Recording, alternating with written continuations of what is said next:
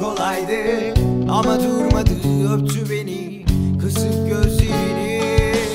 Elbiselerini çıkartıp Saçlarına dokunurken Onu kokladım İçim ürperdi. Soluk soluğa yatıyordu Terlemişti vücudu Ve beklenen